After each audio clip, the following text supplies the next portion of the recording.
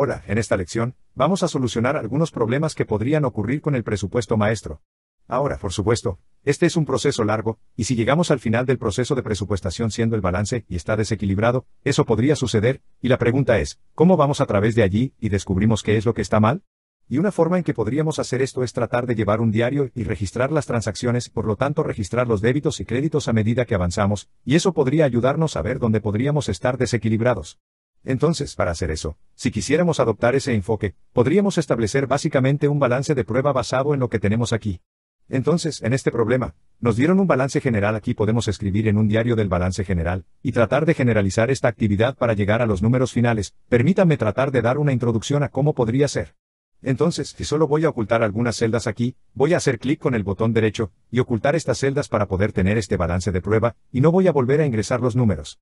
Pero básicamente, vas a tomar el balance general, y lo vas a poner en formato de balance de prueba, y eso significa quitar los subtotales y poner, voy a poner los créditos como negativos, para que se equilibre de esa manera. Así que, por ejemplo, voy a ir directamente por aquí. El efectivo va a ser de 40.000 cuentas. Steel 342, 248, materias primas, 98.5, y luego productos terminados, inventario, 25.325.540 y luego, si quiero verificar mis subtotales, suma 108 280 810 8.288, así que estamos en camino. Luego vamos a ir al equipo. 600.000 menos de depreciación acumulada. Eso es un crédito negativo. Lo voy a poner como negativo. 150.000 tengo mis créditos negativos. Y luego llegamos al total de la propiedad, planta, equipo y todos los activos. Entonces voy a destacar estos y me voy aquí. Entonces, ¿qué tenemos? Un millón. No, no soy un millón dos cincuenta y seis, así que estamos en lo cierto. Bien, entonces vamos a seguir. Estamos en la responsabilidad. Así que estos van a ser crédito, así que voy a representarlo como un 200.205 negativo para las cuentas por pagar, y luego tenemos un pasivo a corto plazo negativo 12. Y de nuevo, si sumo esos dos, sumo 212.5. Así que ese es el subtotal de 212, 5. Y luego tenemos un pasivo a largo plazo, 500.000 que no van a entrar en el subtotal, pero si sumo todos los pasivos, sin incluir la depreciación acumulada, 712, 5, 712, 5, así que vamos por buen camino, entonces el largo plazo, no, en realidad, este tiene que estar aquí abajo. Voy a agregar una cuenta para el impuesto sobre la renta a pagar, que necesitaremos más adelante. Entonces tenemos el stock común. Voy a hacer esto azul, porque esta es la cuenta de capital. Así que esos están en el medio. Así que a veces me gusta mostrar el hecho de que este es el punto de diferencia entre el balance general y el estado de resultados. Así que ahí están las utilidades retenidas de capital, 2087. 88. Y sin dividendos. Ahora estamos en ceros, lo que significa que los débitos menos los créditos ahora son iguales a cero, por lo que estamos en equilibrio en ese momento. Entonces, lo que normalmente hago es decir que queremos el equilibrio final aquí. Así que voy a decir que el saldo final va a ser igual al saldo inicial más cualquier actividad que pongamos allí. Vamos a periodizar la actividad, básicamente vamos a periodizar la actividad de presupuestación. Entonces voy a resaltar esto hasta el final. Voy a destacar todo el camino hasta aquí. Y estas son todas las cuentas que voy a necesitar. Así que en realidad voy a eliminar algunas de estas filas. Y esto es todo lo que vamos a necesitar eliminar, subir y anotar eso. ¿Cómo han llegado hasta aquí estos ceros? Lo único que hicimos fue resumir. Dije que es igual a la suma de todo. Todo esto todo el camino hacia abajo, porque vamos a necesitar algunas cuentas del estado de resultados. ¿Por qué se detiene en el balance? Porque nos detenemos en el momento del tiempo, al final del 30 de junio, en este caso, y luego vamos a presupuestar hacia adelante. Por lo tanto, no tenemos ninguna cuenta de resultados ya cerrada en el balance así que voy a agregar algunas cuentas del estado de resultados, porque las vamos a necesitar para el proceso de presupuestación. Entonces, destaco esto, entonces tenemos esto. Y si quieres saber por qué son verdes, fui a la pestaña estilos de inicio, y fuimos a cuando son iguales, quiero que sean verdes. Así que eso significa que puedo ver que, ya sea que sean verdes o no, y nos mantendrá en equilibrio. Entonces, si eso es igual a cero, vamos a hacer que sea verde. Si no es cero, entonces va a cambiar. Y eso nos dará una indicación visual. Entonces voy a resaltar de la A a la M, soltar, clic derecho. Resalte desde 8 metros, suéltelo, haga clic con el botón derecho y muestre. Oh, golpeé en lugar de mostrar. Hagámoslo una vez más. Voy a hacer clic con el botón derecho y mostrar. Muy bien. Bien. Así que ahora observe que también agregué solo nuestra área de entrada de diario. Aquí es donde vamos a introducir las entradas del diario y publicarlas en esta sección. Y a ver qué pasa. Así que si solo revisamos algunas de nuestras actividades, podemos decir, bueno, las ventas ocurrieron, y tuvimos ventas de esta cantidad en dólares y sabemos que parte de esas ventas fueron a cuenta y parte de ellas fueron en efectivo. Así que voy a seguir adelante y publicar eso.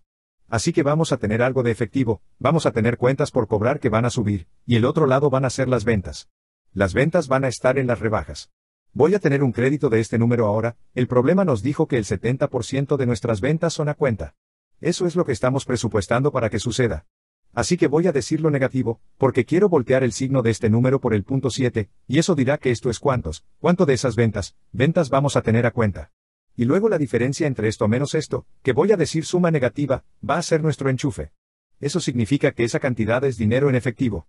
Así que ahora los débitos son iguales a los créditos, y podemos generalizar esta transacción y ver si se relaciona con nuestro balance final.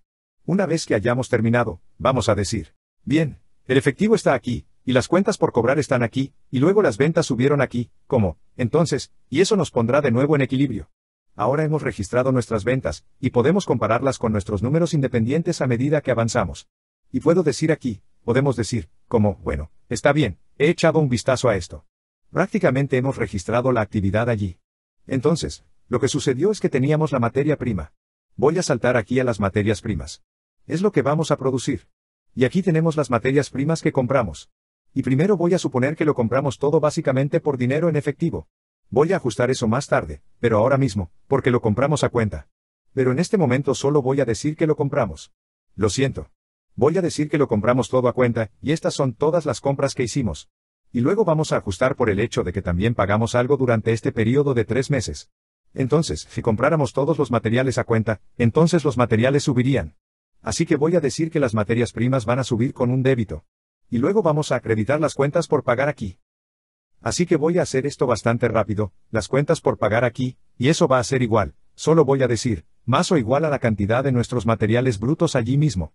Y esa va a ser la transacción para registrar las compras de nuestras materias primas. Nuevamente, no hemos registrado el pago en efectivo de algunos de ellos, pero eso registrará las compras.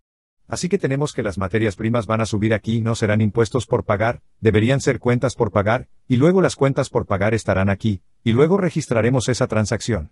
Así que ahora hemos registrado, básicamente, la actividad de las materias primas aquí, y pasaremos a los acabados, así que a continuación, quiero pensar básicamente en la cantidad de esas materias primas que utilizamos, y se transfirieron de las materias primas a los productos terminados. Ahora que no tenemos ningún trabajo en proceso aquí, básicamente estamos diciendo que vamos a completarlos a lo largo del proceso.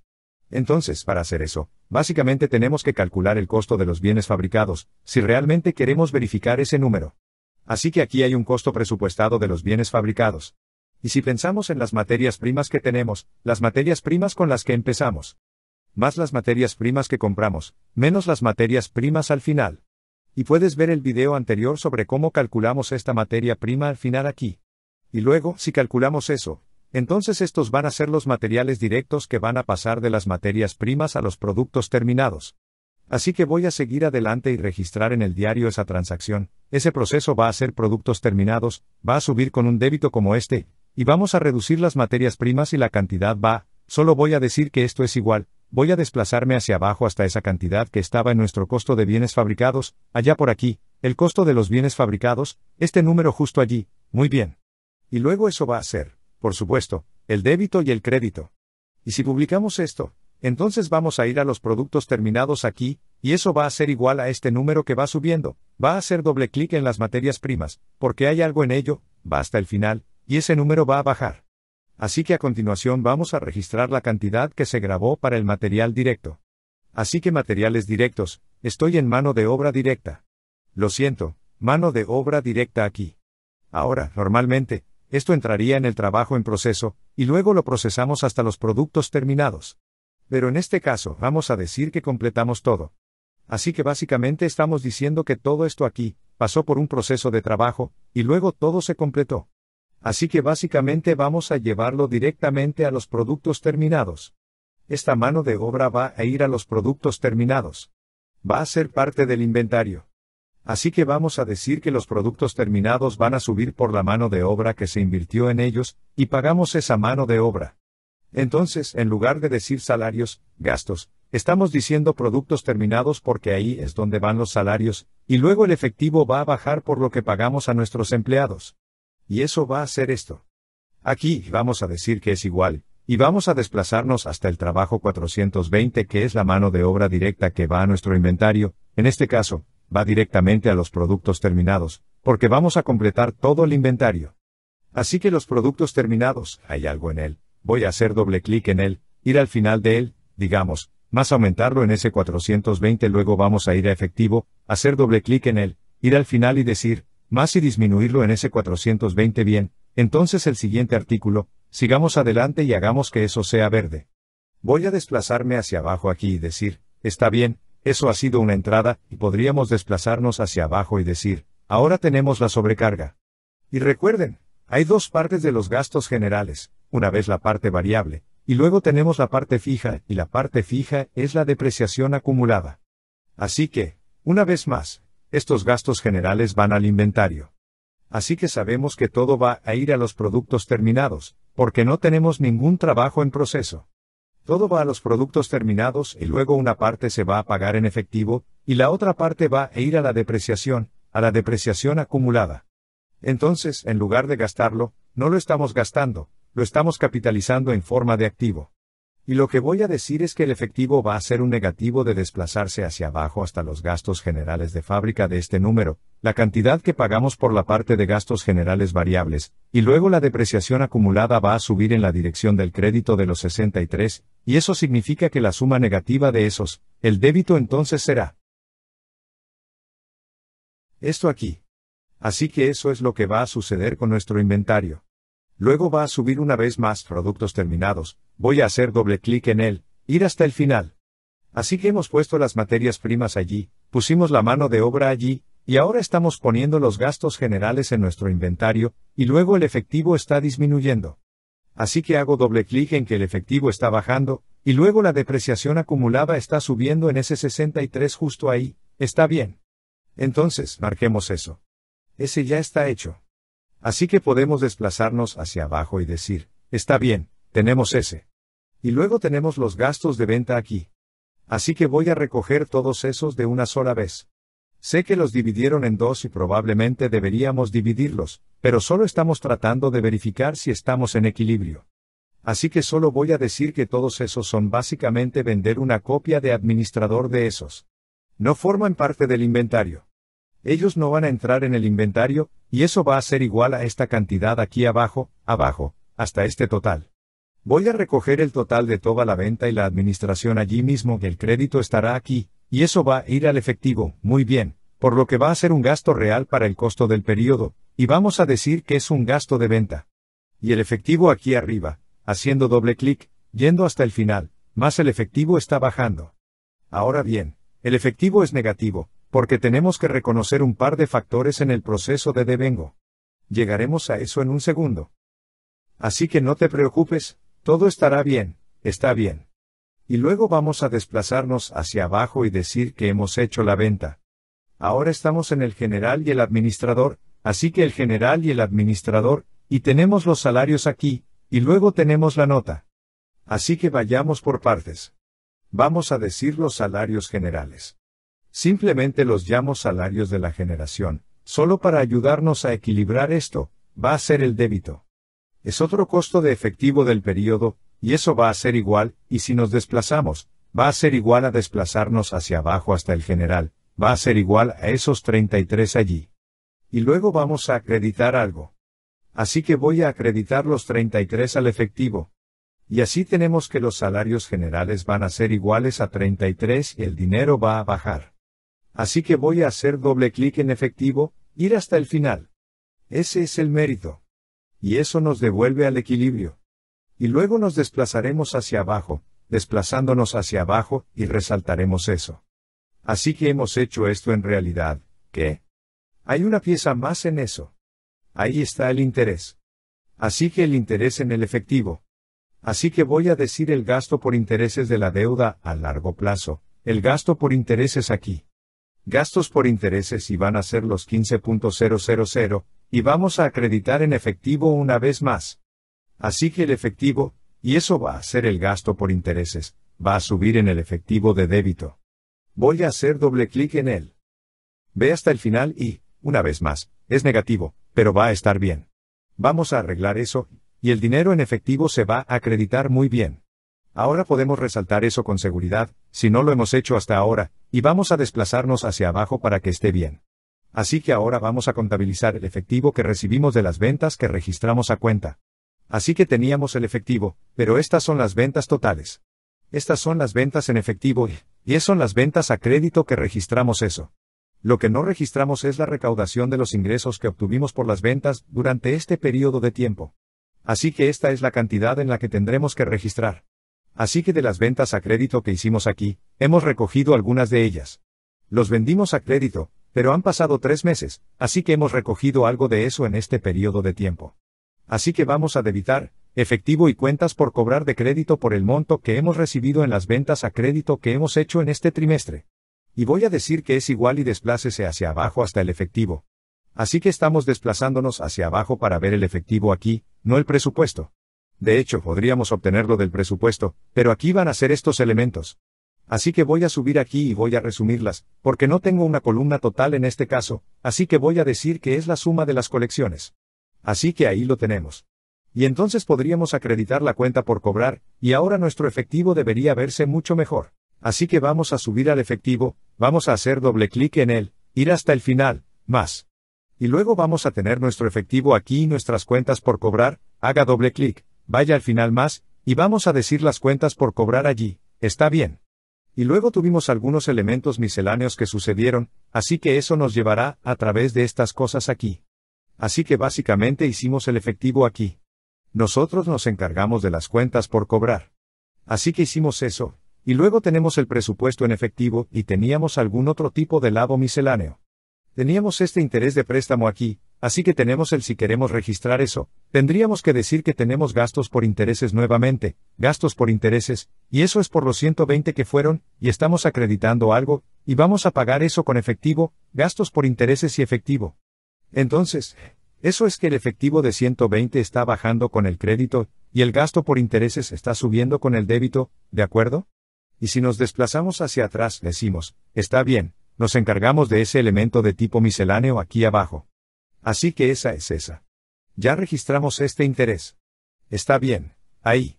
Luego tenemos este equipo. Pusimos el equipo y pagamos en efectivo por el equipo. No teníamos financiación ni nada. Así que solo vamos a decir el equipo en los libros. Tenemos más que va a subir con un débito, y lo vamos a pagar todo en efectivo.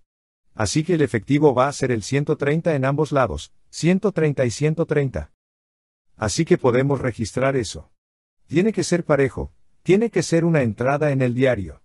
Tiene que funcionar. Así que vamos a decir, está bien, vamos hasta el final de eso. El efectivo va a bajar con un crédito, y lo ponemos en el equipo aquí, más el débito así. Y así hemos registrado el equipo que debería recomendar. Deberíamos estar bien con nuestro efectivo allí, y luego tuvimos el dividendo aquí, así como el dividendo. Así que el dividendo lo pagamos en efectivo.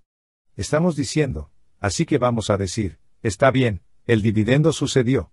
Vamos a pagarles el dividendo a los dueños. Vamos a acreditar dinero en efectivo por eso.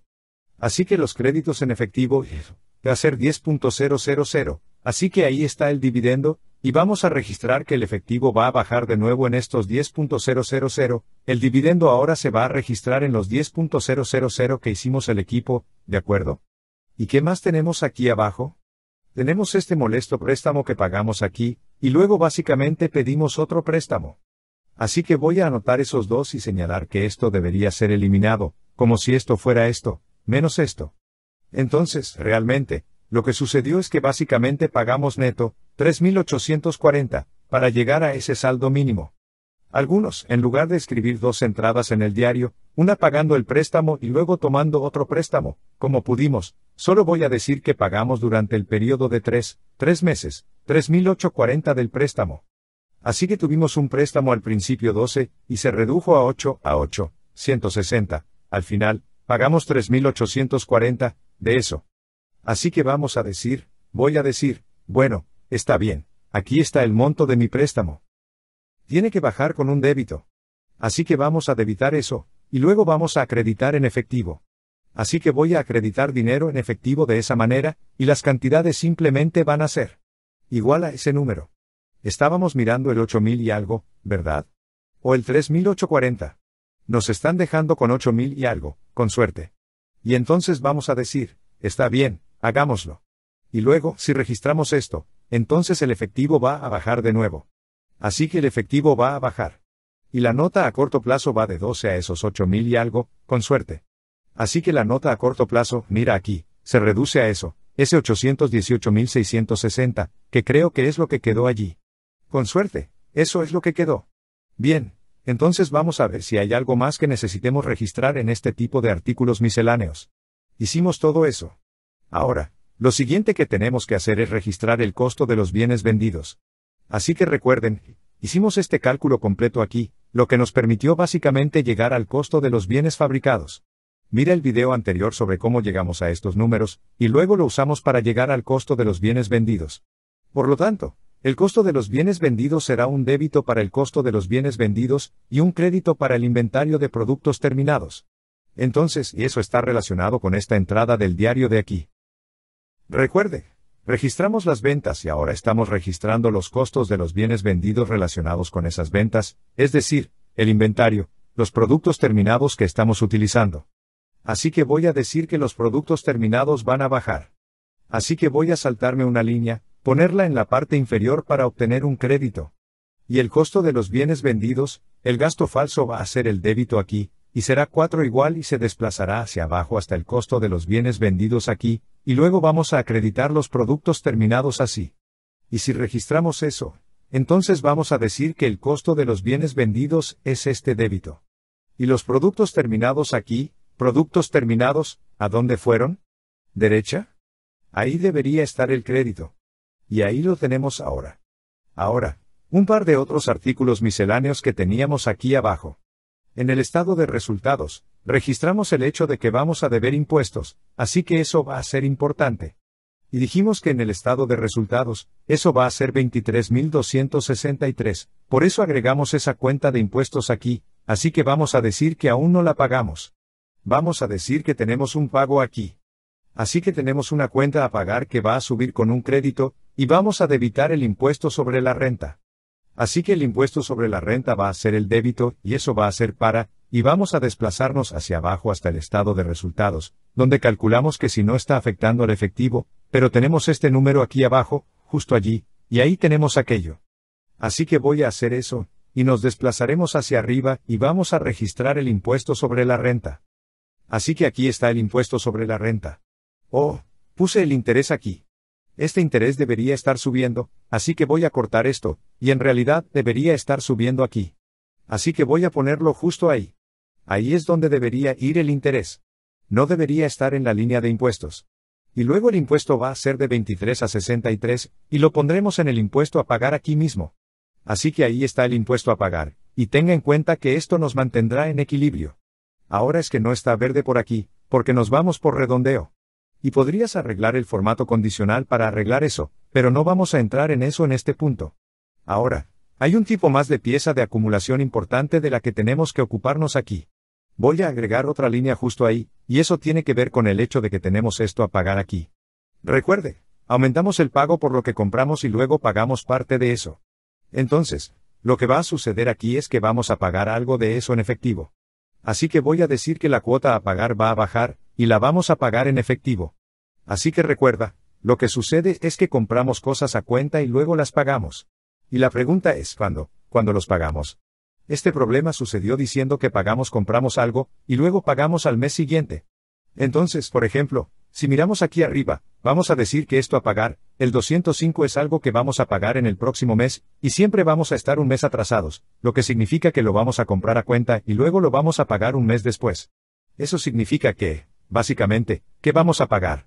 Vamos a pagar que es igual a 205, 200.005 más que vamos a tener que pagar las otras compras aquí. Por lo tanto, presupuesto de materias primas. Aquí están nuestras compras se pagaron en julio, agosto y septiembre es lo que aún quedará en el inventario final. Así que voy a agregar a esta cantidad, vamos a decir, más los dos, o, o incluso podemos señalar estos, más esto, más esto, y eso nos dejará con esto, ojalá dejado. En la AP. Veamos si ese es el caso después de que publiquemos esto. Así que voy a decir que este es el débito y el crédito aquí. Y vamos a desplazarnos hacia arriba e ir a las cuentas por pagar, hacer doble clic, ir al final más y vamos a decir que ese es el débito allí. Y así que ahí estamos y luego nos quedamos con eso. 1916, 25, y luego si vamos al efectivo. Vamos a decir, está bien, vayamos a la caja. Y eso va a ir disminuyendo. El dinero en efectivo nos lleva a esos 40 que nos resultan familiares. Entonces, creo que eso es básicamente todo. Fíjate que si haces esta entrada de diario por entrada de diario, entonces tiene que estar en equilibrio. Puedes ver exactamente qué entrada del diario te desequilibrará. Y ahora puedes ir a tomar y atar todos tus números. Puedo decir, vale, vamos a mirar el balance aquí, y ver si esto se relaciona con él. Así que nos desplazaremos hacia abajo en el balance general y diremos, sí, eso funciona. Y luego, básicamente, podrías ir línea por línea y decir, está bien, tengo que retroceder mucho. ¿Qué tal 337, 683, 30, 76? 80. ¿Eso se vincula a nuestro balance? Aquí lo hace justo ahí. Ahí está el balance. Luego estamos buscando esos 84.000 que van a ser estos 84.000, y luego voy a seguir adelante y esconder estas celdas. Y luego estamos buscando los productos terminados. 321, 320, 13, 60, así que desplazándonos hacia abajo hasta el balance general. Aquí abajo, 321.360, entonces estamos buscando el neto debería ser 517 de estos dos, que va a ser esto, menos esto. Por lo tanto, 517 valor contable en el equipo. Así que ese va a ser el valor contable del equipo. Esto, menos esto es 517.5. Así es, creo que ya lo marcamos en esto. Y luego podrías pasar por todos estos, y sí, y si te encuentras con alguno de ellos, entonces, por supuesto, ahí es donde necesitas profundizar y ver si la entrada del diario no es correcta. Así que esa es una forma en que básicamente puedes tratar de averiguar algo que está fuera de balance, es en realidad hacer las entradas del diario que serían para el periodo de tiempo predicho o proyectado. Así que,